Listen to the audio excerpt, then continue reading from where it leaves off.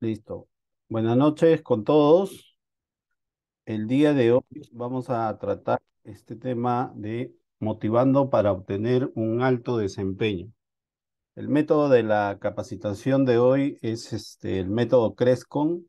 Vamos a revisar algunas diapositivas y luego vamos a ver un video. Luego de ese video vamos a conversar, discutir sobre el contenido un video que dura algo de 25 minutos y este, luego hacemos un repaso de lo que hemos visualizado en el video. Les recomiendo prestar mucha atención al video, tomar notas porque es, el contenido es muy bueno y va a ayudarles mucho en el tema de motivando para obtener un alto desempeño, tanto para nosotros como para con el equipo en el que trabajamos. Ok, eh, mi nombre es Martín Fernández. El propósito de la empresa GCIN Perú y el mío es compartir conocimientos y experiencias en seguridad ocupacional, seguridad patrimonial y liderazgo. El tema de hoy día trata sobre liderazgo. Todos los viernes a las 7 de la noche estamos compartiendo un curso gratuito sobre algunos de estos temas, ¿no? Seguridad ocupacional, seguridad patrimonial y liderazgo. Hoy día, con respecto al liderazgo, vamos a, ver el tema sobre motivándonos nosotros mismos y a nuestro equipo de trabajo para obtener un alto desempeño. La idea de participar en este curso y que es uno de los requisitos para eh, desarrollar el liderazgo es participar eh, después de ver el video o las diapositivas, algunas preguntas, participar, contribuir con los ejercicios, con las consultas que hubiera. Eso hace más dinámico la, la presentación y opiniones diferentes enriquecen el, el desarrollo de, este curso. Ok, este es una, un pensamiento, ¿no? Una, este, eh, algo que nos tenemos que prestar mucha atención cuando estamos liderando equipos. ¿Qué es lo que nos dice? No? La responsabilidad principal de un líder, responsabilidad principal de un líder más que desarrollar estrategias de negocio, incursionar en la tecnología, desarrollar estrategias para competir, debe ser ayudar a crecer a la gente, a su gente, a su equipo. Esa es la principal responsabilidad. Antes de, de el negocio, desarrollar estrategias de negocio, este, manejar adecuadamente la tecnología, lo que debemos fortalecer y desarrollar es ayudar a crecer a la gente. Tenemos que ayudar a crecer a la gente. Haciendo efectiva las fortalezas humanas. Cada uno de nosotros y cada uno de nuestro equipo de trabajo tenemos fortalezas ¿no? Fortalezas personales. Como líder de equipo, como eh, líder de, del equipo con el que trabajamos, estamos en la obligación de identificar esas fortalezas de nuestros este, trabajadores y nuestras propias fortalezas también. Y hacer eh, irrelevantes las debilidades. Es todo lo contrario, ¿no? A veces encontramos en, los lugares de trabajo que más se resalta las fallas, las debilidades, otra vez te has equivocado, otra vez hiciste lo mismo, entonces, eh, y eso, este, disminuye a la persona, ¿no? La hace, este, temerosa, la hace, este, que ya no quiera tomar algunas decisiones o incluso hablar, expresarse, entonces, lo que debemos hacer como líderes es resaltar las fortalezas y ayudar a la gente a desarrollarse, a crecer, eh, incluso conociendo sus debilidades y hacer que se, que se mejore esa, esas debilidades, ¿no? Que se corrija, que se trabaje en esa debilidad, no resaltando sus debilidades o sus fallos.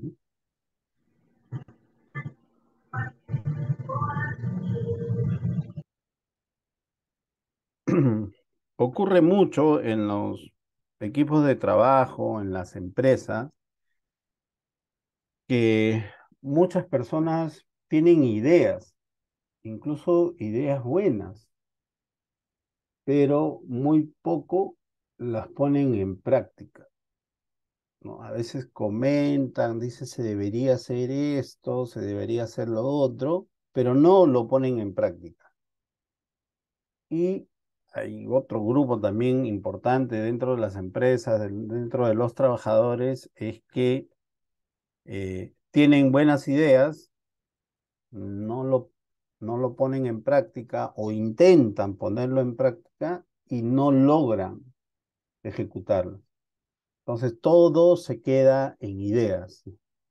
Entonces es, es este, parte del liderazgo y, el tema de hoy es que esas ideas que muchos de nosotros tenemos y parte de nuestro equipo de trabajo también se pongan en práctica, son buenas ideas, se pongan en práctica y se ejecuten. Eh, que, que sean eficientes, que ayuden al crecimiento de la empresa, de la organización. Dentro de este eh, desarrollo de nuestro liderazgo, de hacer crecer nuestro liderazgo, tenemos que comenzar a practicar, a desarrollar una manera de pensar diferente. Porque nosotros venimos trabajando muchos años, tenemos mucha experiencia seguramente, y siempre hacemos lo mismo. Y no es que esté mal, pero vamos a tener trabajadores diferentes, trabajadores jóvenes, que seguramente van a venir con nuevas ideas. Y no porque hace años lo hemos hecho así, tenemos que continuar haciéndolo así.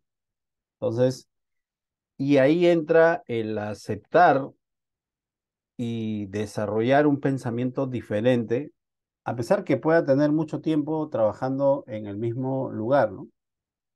Hay que desarrollar, hacer que se desarrollen buenas ideas dentro del trabajo, que se apliquen esas buenas ideas, incluso buenas ideas de otros trabajadores que son parte del equipo. No soy como líder de equipo, no soy eh, la única persona que tiene ideas. Todos, todos tienen ideas. Lo que como líder de equipo debemos saber escucharlos entender sus ideas y si hay algunas ideas que de repente están medias desordenadas, ayudarlos a ordenar. Esa es la función del líder. Mientras más ideas tengamos, más ideas recepcionemos, los trabajadores entiendan, nuestros trabajadores eh, nos identifiquen como una persona a la cual nos pueden dar sus ideas, vamos a estar en ventaja porque vamos a poder aprovechar algunas de esas. No necesariamente, no obligatoriamente tiene que ser mi idea como jefe de equipo, como em, eh, líder del, equipo. Tengo y debo tener en cuenta las ideas de los otros integrantes del equipo de trabajo también. Entonces ahí eh, estamos rompiendo un poco eh, nuestra manera de pensar, ¿no? Estamos agregando, estamos cambiando algo de nuestra manera de pensar, aceptando ideas de otras personas que son parte del equipo. El objetivo de este curso es descubrir la pequeña diferencia que da el motivarse a sí mismo y a otras personas.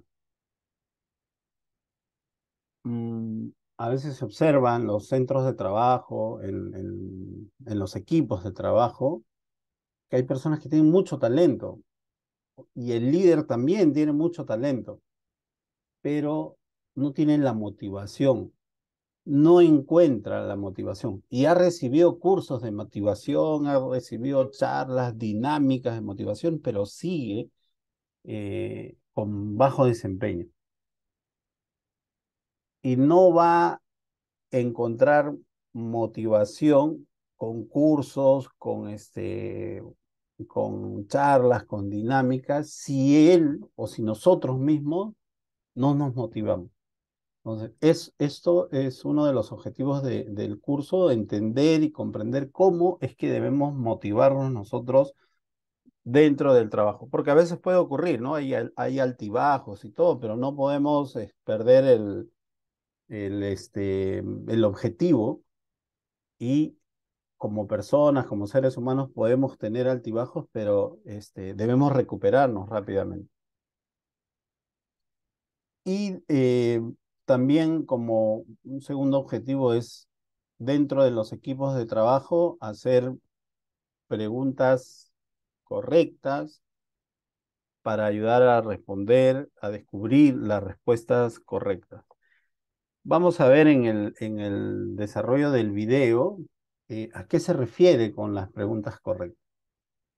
Muchas veces, y esto los que lideramos equipos nos pasa mucho, hacemos preguntas al equipo de trabajo y nadie responde.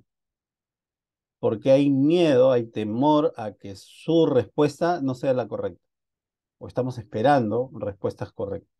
Y no, no necesariamente hablo de exámenes, no hablo de, de, de, que haya leído algún documento y lo evaluemos de eso. No necesariamente. A veces hay temas que, que salen en la operación del trabajo y eh, el líder espera la comunicación, espera la respuesta o lanza algunas preguntas y nadie, nadie habla. Y todos dicen, todo está claro, todo está este, eh, claro, no hay preguntas, no hay nada, ¿no? Eso, entonces, eso a veces y muchas veces ocurre porque eh, hay un liderazgo que siempre espera respuestas correctas, ¿no? siempre espera que la respuesta sea la acertada y la persona, la gente, comienza a tener miedo de que si no es la respuesta, se va a sentir este, de repente burlado, se van a ver burlas, va a haber un cargamontón con esa persona. Eso hay que cuidar también dentro del trabajo. ¿Ok? Si tienen alguna pregunta, algún comentario con lo que hemos conversado hasta ahora, por favor, eh, pueden hacerlo. Y si no, entramos a ver el video del, del curso, ¿no? El video que es parte de este método de, de capacitación. Si tienen algunas preguntas, comentarios, por favor. Alto desempeño. En esta sesión veremos desde perspectivas diversas las diferencias entre los directores promedio y los mejores directores. En Norteamérica, el béisbol es llamado el pasatiempo nacional. Los fanáticos siguen los promedios de sus jugadores de béisbol favoritos, muy de cerca. ¿Conocen la diferencia entre un bateador de 275 y uno de 300 en las ligas mayores? Un hit por cuántas veces que batea. Quizás serán 5, serán 10, tal vez 20, creerían que solo se da un hit cada 40 veces al bat. Es un hit cada dos semanas, un hit cada 14 juegos. Algunos podrían decir, ¿y eso qué? Yo también lo decía, hasta que revisé sus salarios. La diferencia de salario entre un bateador de 275 y uno de 300 es más del doble. ¡Wow! W. Clement Stone magnate de seguros y escritor, dijo, hay muy poca diferencia entre las personas, pero la pequeña diferencia hace la gran diferencia. Así es el béisbol, así es en los deportes, así es en los negocios y así es en la vida. Hay una diferencia entre un excelente atleta y un medallista de oro. Hay una diferencia entre un buen ejecutivo y un director de clase mundial.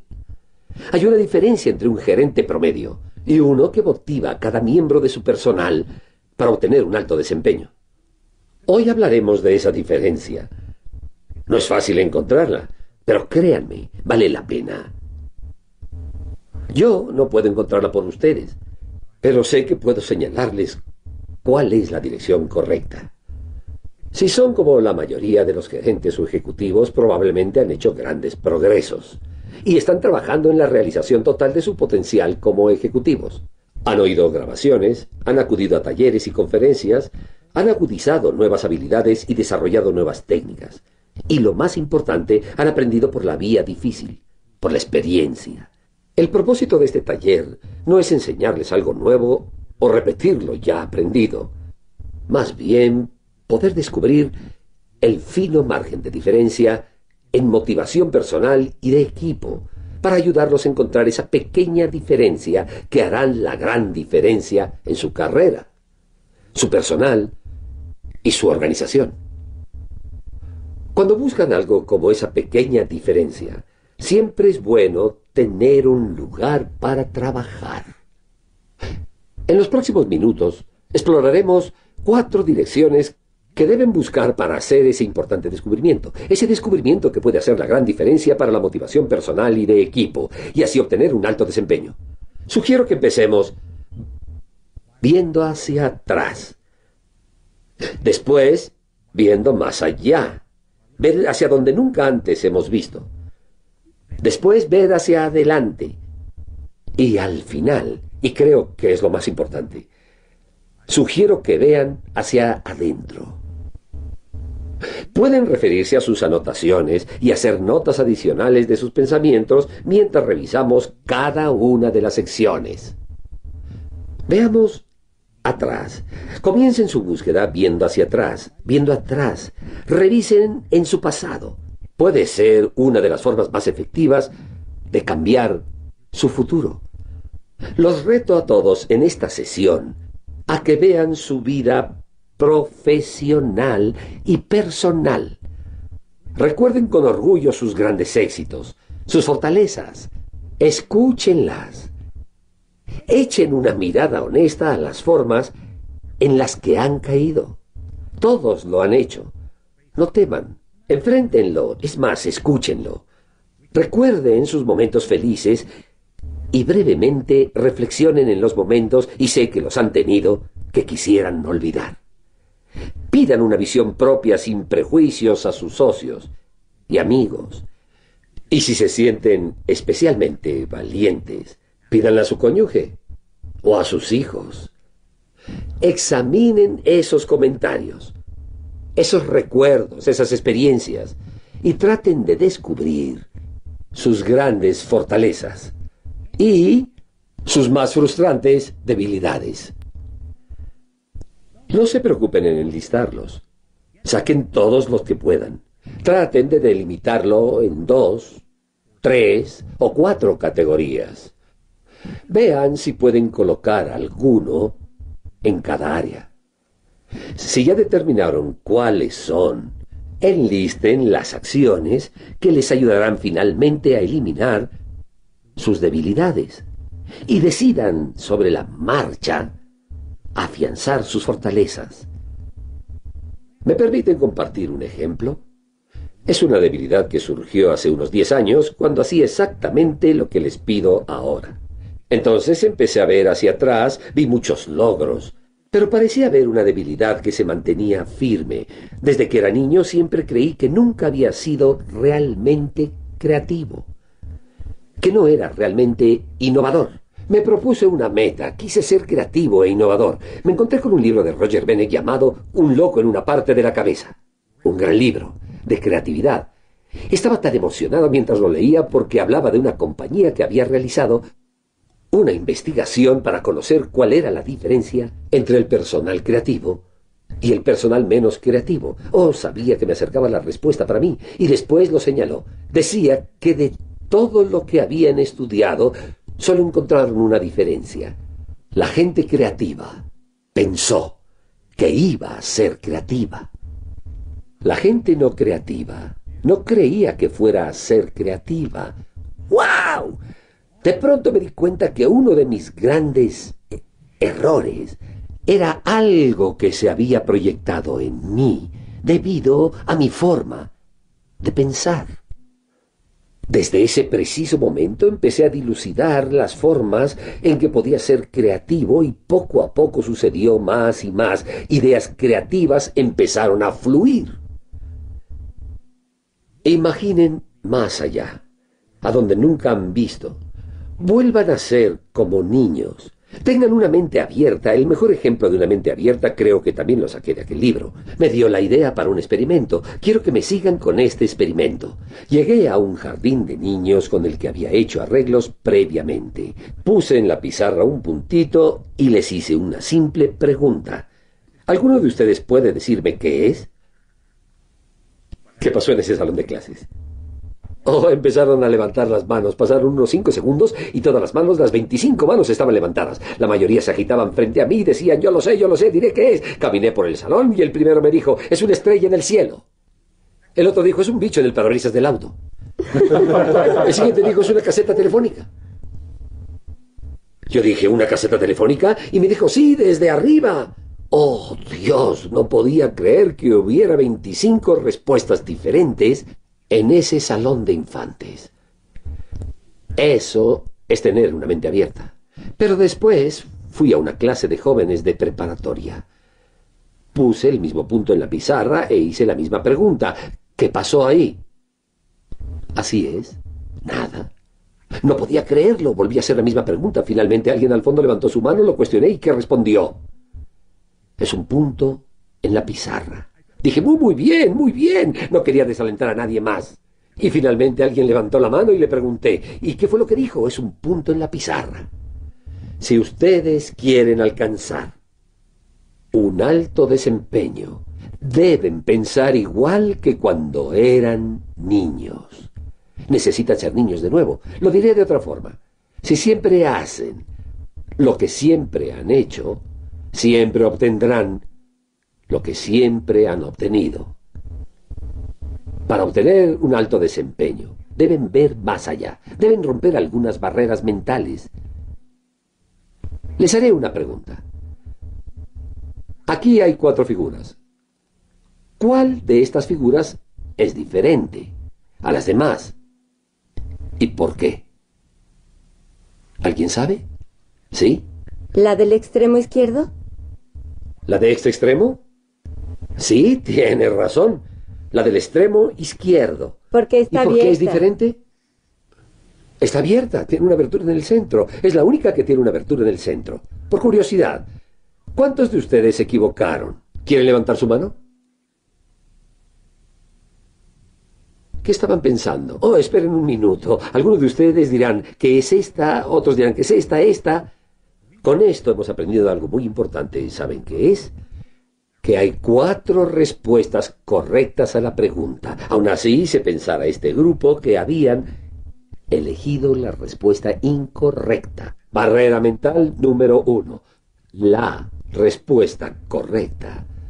No necesariamente me encanta lo que Chartier, un filósofo francés, dijo. Chartier dijo, nada es más peligroso que una idea cuando es la única que se tiene. Es cierto, ¿verdad? Paul Torrance dijo, el primer 75% de las ideas sobre cualquier tema son menos creativas. ¿Qué significa? Que tenemos que seguir buscando en este ambiente cambiante para ser creativos, para ser innovadores. El alto desempeño siempre busca la segunda, tercera, cuarta, quinta o sexta respuesta correcta. Barrera mental número dos. Sé práctico. Sé lógico. Pongan mucha atención. El alto desempeño no es práctico y no es lógico. Si así fuera, todos los estarían haciendo y no sería un alto desempeño. Sería un desempeño promedio. Sé lo que están pensando. Henning, ¿me estás diciendo que no debo ser práctico ni debo ser lógico? Sí, así es. Al menos en las primeras etapas de su razonamiento, porque no lograrán un alto desempeño si su lógica y su práctica están en los estados iniciales. ¿La televisión era práctica antes de ser inventada? Mm, no. ¿Las computadoras eran lógicas antes de que tuvieran un uso común? Mm, no. ¿El Internet era práctico, lógico hace años? No. Pero estas tres maravillas del alto desempeño moderno son prácticas y son lógicas hoy. Ahora entendemos todos esos principios que las hacen lógicas.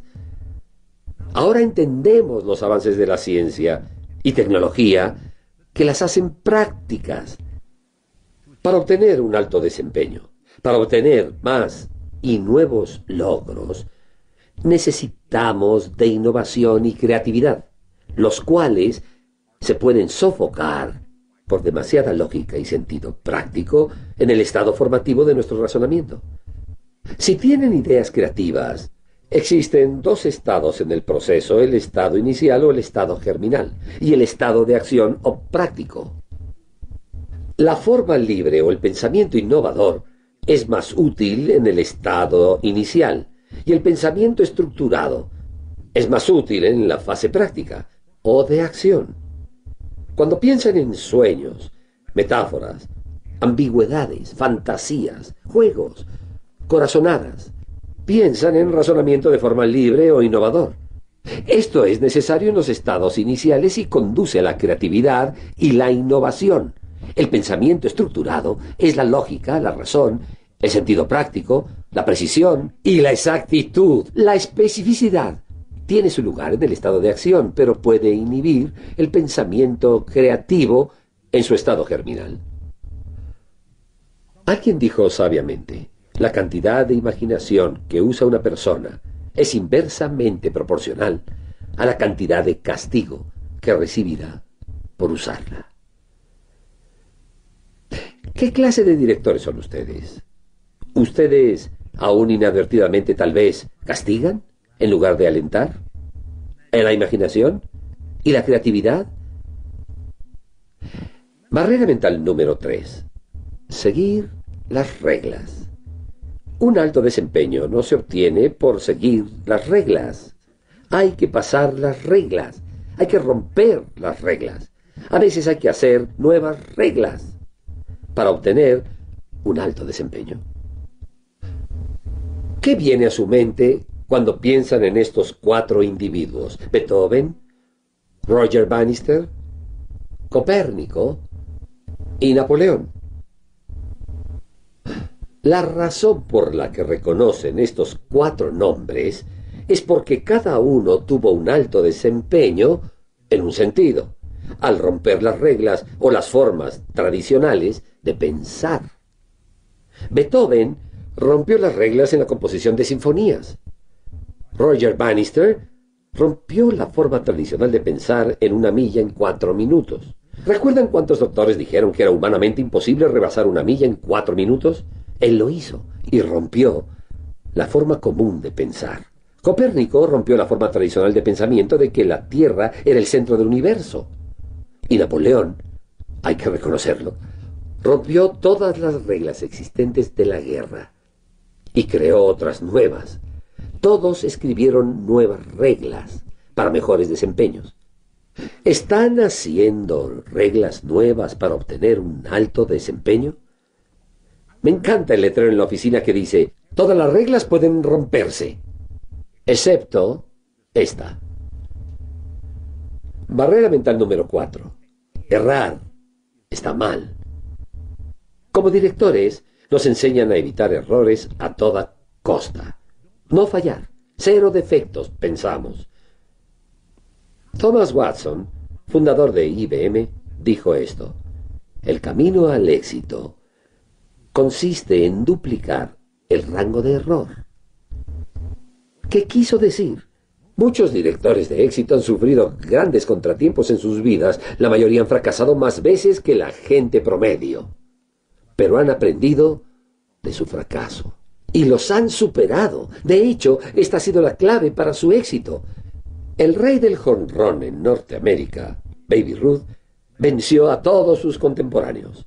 No solo lo hizo en sus jonrones, también en errores, en abanicadas. Tuvo 1440 grandes errores, más de los jonrones que tuvo. Los hombres de éxito no temen a sus errores, es más, crecen con ellos. Los ven como una forma para poder construir el éxito y tener logros. ¿Qué creerían de un hombre que fracasó en su negocio en el 31? No llegó a la legislatura en el 32.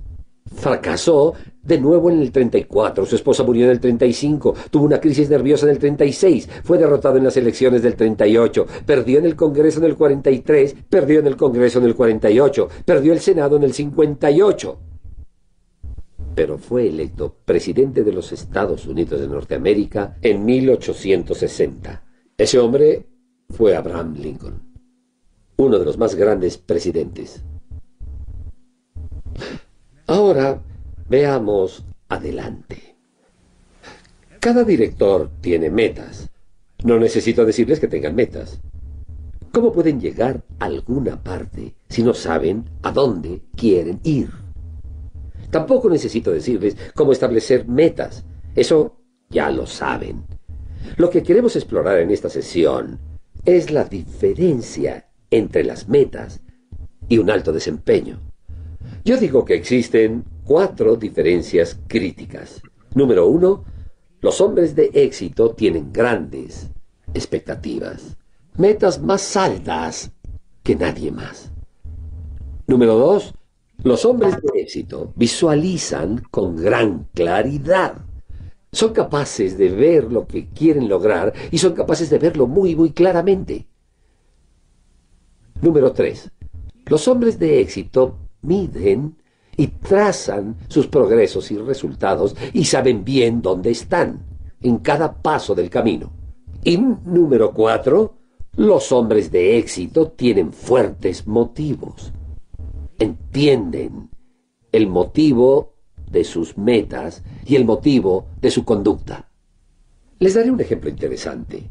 Trabajé con un grupo de niños exploradores hace unos años. Teníamos 40 y queríamos motivarlos para volverse águilas. Si saben algo del programa de exploradores, uno de cada 100 chicos que entra al programa eventualmente logra el rango de águila. Queríamos incrementar eso si podíamos. Decidimos darles algo. ¿Por qué esforzarse? Algo grande por qué esforzarse. Hicimos arreglos a tres años.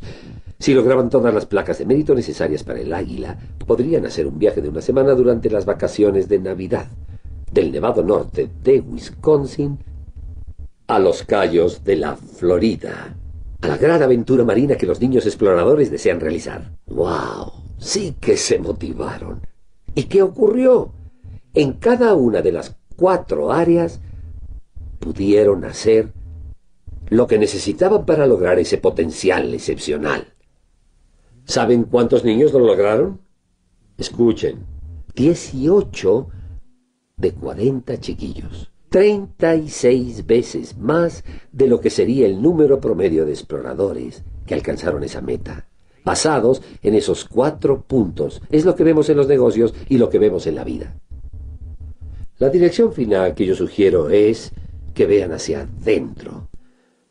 Hay una antigua leyenda hindú que data de las épocas cuando Brahma, el dios padre de los dioses hindúes, vio que un hombre había encontrado el poder de la divinidad y dándose cuenta que ese hombre tenía algo de maldad, supo que ese poder debía ser arrebatado de él y ocultado en algún lugar donde nunca lo encontrara.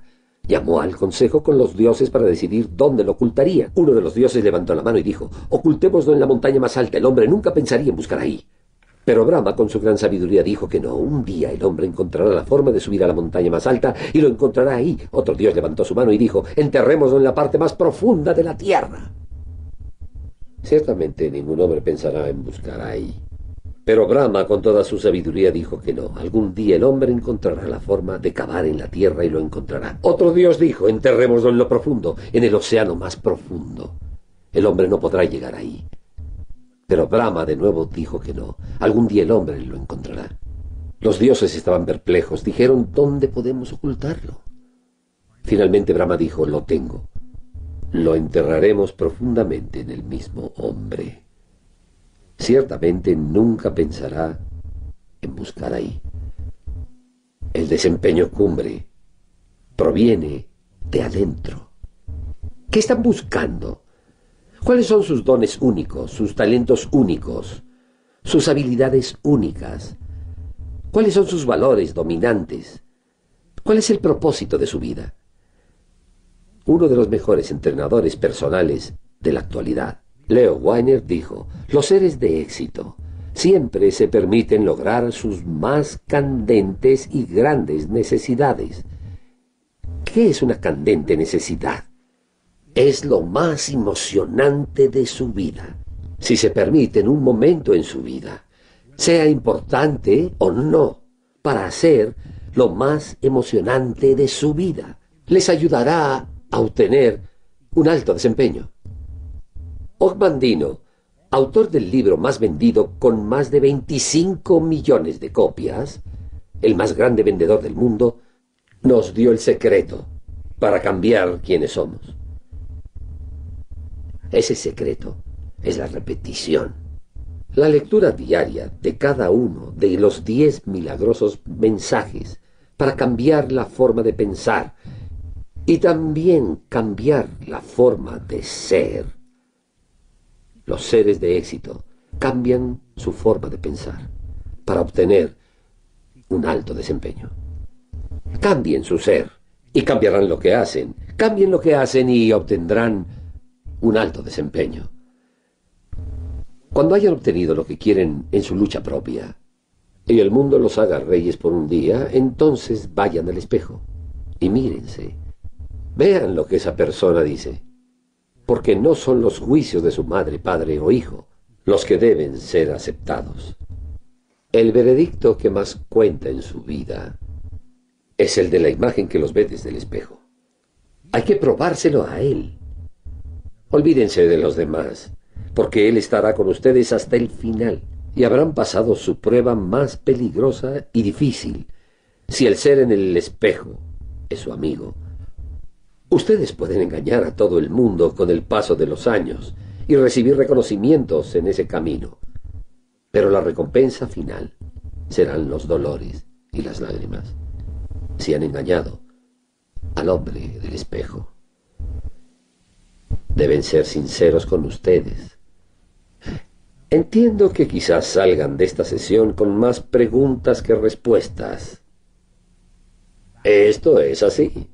Saber la pregunta correcta en este proceso único de descubrimiento es muchas veces más importante que saber la respuesta. Disfruten el viaje. El alto desempeño es para el viaje quizá tanto como su destino. Claro que descubrir su pequeña diferencia desde luego no es una tarea fácil. Es algo muy, muy personal. Es un proceso progresivo. Es más, cuando hagan esos descubrimientos, todos deben trabajar en ellos. Muchas veces ya sabemos cuáles son las cosas que nos llevan a niveles más altos de logros. Las encontramos viéndonos a la cara. Pero cerramos los ojos y nos rehusamos a actuar en ellas por temor. Eleanor Roosevelt, una mujer de éxito en su vida, lo expresó de esta forma. Ustedes ganan en fortaleza, experiencia y confianza si en cada ensayo se detienen a ver al miedo a la cara. Y después resaltó, ustedes deben hacer aquello que no pueden hacer. Es hora de descubrir lo que no pueden hacer y simplemente hacerlo. Los hombres de éxito encuentran esas pequeñas diferencias que eventualmente les darán a ellos o a su organización la línea que puede hacer la gran diferencia en su compañía y en su desempeño personal. Recuerden, miren atrás, miren más allá donde nunca han visto, miren adelante y establezcan metas. Y finalmente, y muy importante, pueden abrir su su micro o escribir al chat. Yo leo el chat también. O si no, abrir su micro. ¿Qué les pareció? ¿Cuál es la idea mm, más importante que puedan haber este, captado? Carlos Vaca nos dice, excelente, muy motivador. ¿Algún otro comentario? alguien que desee participar y abrir su, su micro para comentar qué le pareció el, el video. Adelante, Marvin. Doctor, buenas noches. Adelante, adelante, Marvin.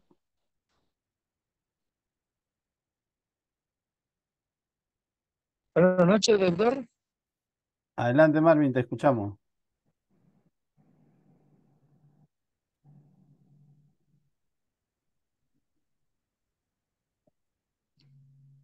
Eh, pues eh, el eje central, pienso yo, de la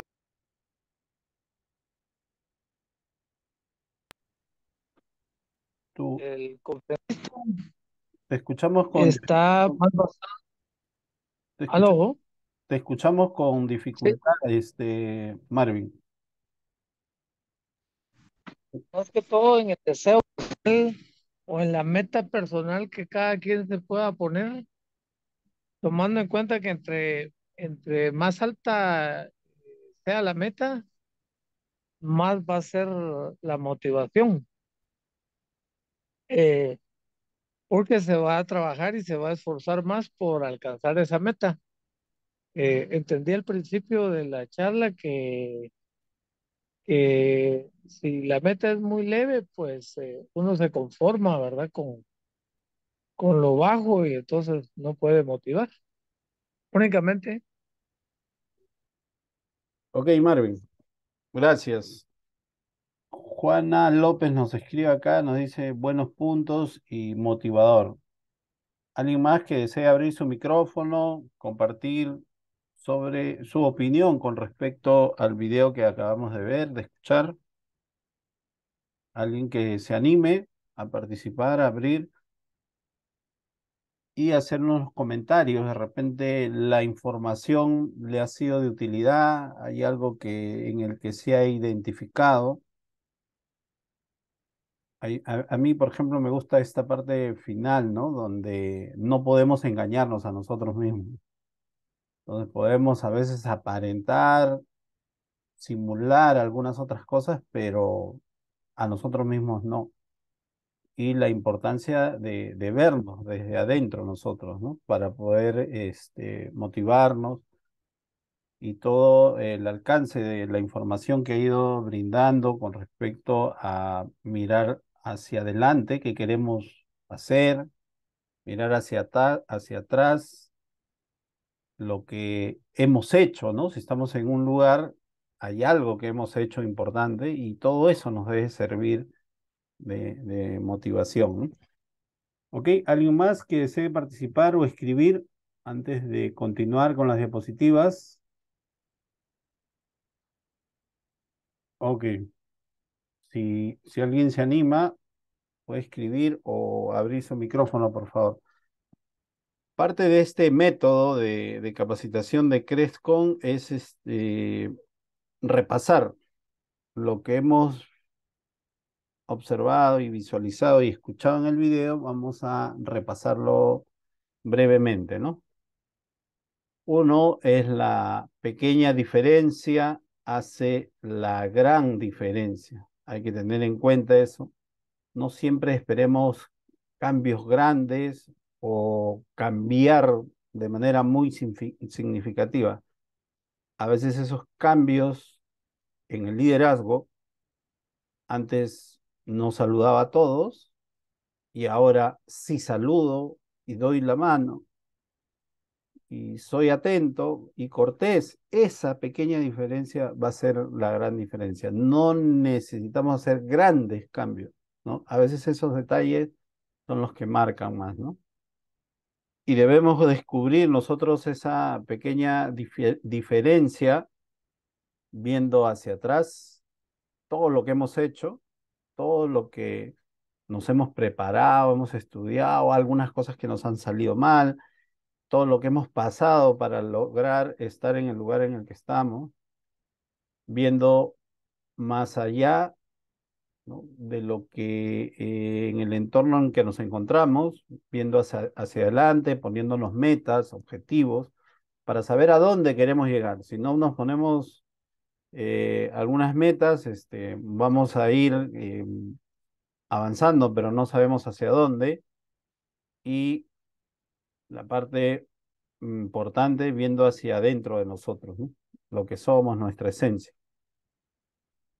Hay que, cuando miramos hacia atrás, hay que revisar nuestro pasado, nuestras fortalezas, ¿no?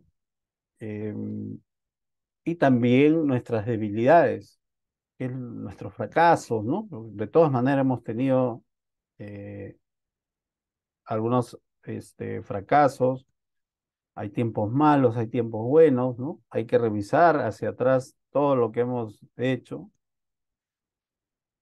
podemos y debemos como liderazgo eh, elaborar una lista de qué acciones voy a realizar para eliminar o reducir esas debilidades y afianzar nuestra fortaleza. No hacer la lista, o, bueno, tener la lista de debilidades y la lista de fortalezas, pero agregarle las acciones que voy a si tengo una debilidad, un ejemplo, no leo mucho, es mi debilidad, no leo, no leo documentos, no leo libros, no leo normas legales. Entonces, esa es mi debilidad. Y de repente he tenido problemas con esto. Entonces tengo que hacer una lista que diga que debo desarrollar la lectura, qué acciones voy a tomar, voy a leer dos hojas, tres hojas por día. Entonces comienzo a trabajar a tener alguna acción para reducir o eliminar esa debilidad. Y si tengo otra fortaleza, que soy muy dinámico, que soy proactivo, siempre estoy operativo, entonces esa fortaleza la voy a reforzar, eh, voy a estar más atento, ¿no? Porque ya es, este, es más fácil y debemos trabajar para mejorar nuestras fortalezas, pero deben ir acompañadas de acción. Em, hemos visto en el, video, en el video descubrir su pequeña diferencia. Hay que imaginar más allá y romper algunas barreras mentales, ¿no? Hemos visto, hemos escuchado la barrera mental número uno, la respuesta correcta. Siempre esperamos o queremos dar la respuesta correcta. Puso el ejemplo de los niños, ¿no? Y en los trabajos manera general, en nuestros equipos de trabajo hay muchos jóvenes y a veces tienen ideas media raras, ¿no? Uno, uno dice, no, mega rara, pero da una sugerencia, hay que escucharlo, hay que darle atención. Por ahí podemos mejorar esa idea o, utilizarla y va a ser efectivo. Pero no hay que cerrarlo, no hay que cancelar, no, oye, ¿cómo vas a hablar así? Ya, ya esa no va a volver a participar, porque esperamos alguna otro tipo de respuesta, ¿no? Esa es una barrera mental que debemos corregir. Otra barrera mental y que muchas veces nos dicen, ¿no? Hay que ser práctico y lógico y todo. Y ya nos está diciendo que no siempre se tiene que ser práctico y lógico, ¿no? Y puso varios ejemplos con respecto a, a que lo que es práctico y lógico es lo que comúnmente utilizamos, ¿no? Y nos acostumbramos a eso. La tercera regla es la, la tercera barrera mental, seguir las reglas, este, romper las reglas, no necesariamente es que hay que romper las reglas de conducta, a eso no se refiere, sino en la innovación, ¿no? Algunos procesos, algunos procedimientos que se están haciendo, de repente son muy pesados, entonces hay que cambiar, hay que mejorar, hay que hacer algo diferente, hay que innovar en ese, en ese proceso, en ese procedimiento de nuestro equipo de, de trabajo. La cuarta barrera mental es errar está mal, ¿no? Y no habla de grandes errores, errores fatales, ¿no? Sino de que las personas somos seres humanos, podemos equivocarnos y hay que tener tolerancia a, eso, no tenerle miedo. ¿no? Lo peor que puede pasar es que salió mal. ¿no? Lo intentamos. Pero ese error, y puso el ejemplo del presidente de Estados Unidos que postuló a uno, postuló a otro, fracasó en uno, fracasó en otro, y después lo logró. Entonces, esos errores me sirven para poder este, mejorar, corregir, me sirve de experiencia, no es en vano, ¿no? Y si hemos pasado por algunos errores fuertes, este, nos sirve de experiencia, ¿no? Y no vamos a cometer la misma falla, los mismos errores. Hay que descubrir nuestra pequeña diferencia, la pequeña diferencia del equipo de trabajo, siempre hay que ir hacia adelante, el optimismo es importante.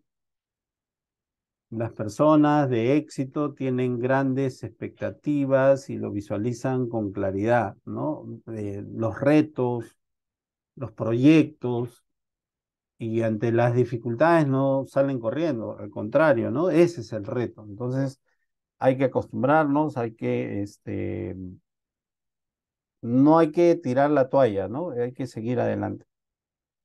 Eh, planificar lo que se va a hacer. Los hombres de éxito miden y trazan sus progresos, hay que ir midiendo, planificar uno, dos, tres y revisar si en el plazo que se estableció se llegó al uno, dos, tres. Si solo se llegó al uno y al dos, entonces hay algo que mejorar en el 3, ¿no? Entonces, eh, eh, midiendo y planificando vamos a poder eh, saber en qué nivel estamos, ¿no?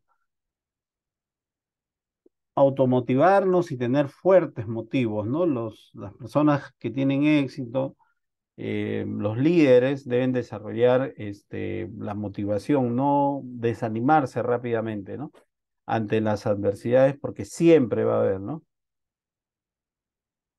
descubrir nuestra pequeña diferencia, hay que ver hacia adentro, hacia adentro de nosotros, mm, como líder de equipo, hacer que nuestros trabajadores también vean hacia adentro, porque cada uno de nosotros tenemos fortaleza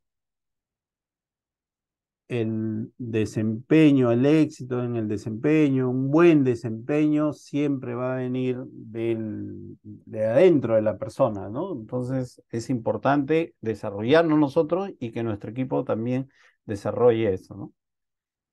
Y finalmente, definir cuál es el propósito de vida. Eso es algo que debemos este, trabajar. ¿Por qué estamos acá, no? cuál es nuestro propósito, cuál es este, qué queremos aportar, con qué queremos que nos recuerden, ¿no? Eso, eso también debemos determinarlo y debemos trabajar.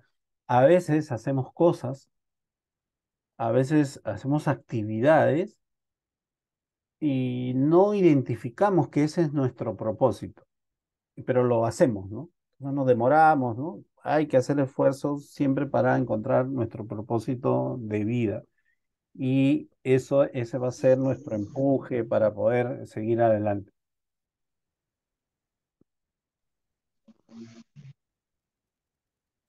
¿Algún, hasta acá, algún comentario, alguna pregunta, alguna consulta? Ok.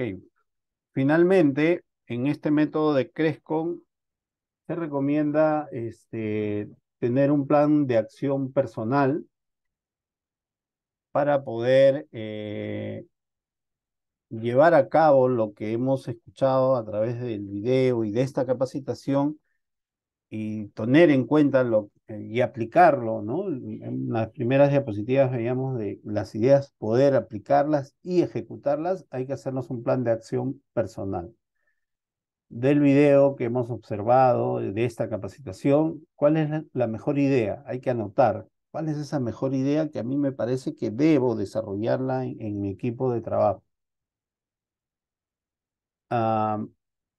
si esa idea que he anotado, eh, ¿cómo va a impactar en mi trabajo? Tengo que definirla. Si si lo aplico, si lo ejecuto, ¿cuál va a ser eh, el impacto que voy a tener? ¿Va a ser positivo? va a motivar a la gente, ¿no? Eso tengo que anotarlo en este plan de acción.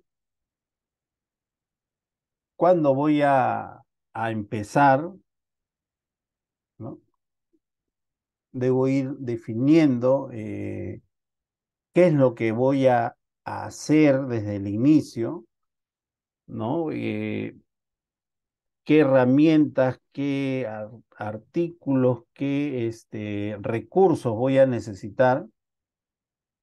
Voy a en mi plan de acción debo colocar las metas, la fecha, cuándo inicio, cuándo termino. Si inicio a 5 de mayo y lo propongo para el 30 de mayo, entonces voy a revisar el 30 de mayo si la meta que me puse este, he llegado o no en este plan de acción personal. De repente se me viene la idea hacer una reunión con todo mi equipo de trabajo, entonces pongo como una meta y voy a ver si he, cumplido, ¿no? Como parte de este trabajo. Si implemento esa idea que, este, que he identificado de este curso, mm, cuáles son los beneficios que voy a obtener, qué recursos voy a necesitar, qué materiales, de repente participar de otro curso, comprar un libro, ¿no? ¿Cuáles son esos recursos que voy a necesitar para poder desarrollar? ¿Ok? Con eso estaríamos finalizando. Si tienen alguna consulta, alguna pregunta, por favor, pueden hacerlo. Mientras les comento que este, tengo un canal de GCIN Perú. El canal está mi nombre, Martín Fernández.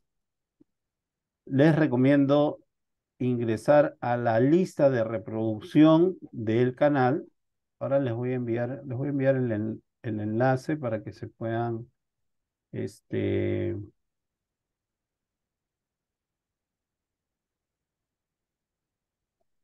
se puedan, mm, a ver, se puedan suscribir los que deseen. Les mando el enlace. Y en el canal se van a las listas de reproducción. En las listas de reproducción van a encontrar ya eh, segmentado em, los diferentes temas que tratamos así en los días viernes como hoy, sobre seguridad patrimonial, seguridad ocupacional y liderazgo. Vamos a, van a encontrar acá una lista de reproducción de liderazgo donde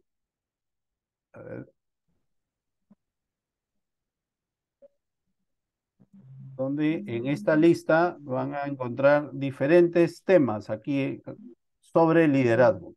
El curso que hemos dado hoy día es sobre un tema específico y en esta lista de reproducción van a encontrar otros temas que van a ayudar a desarrollar el liderazgo.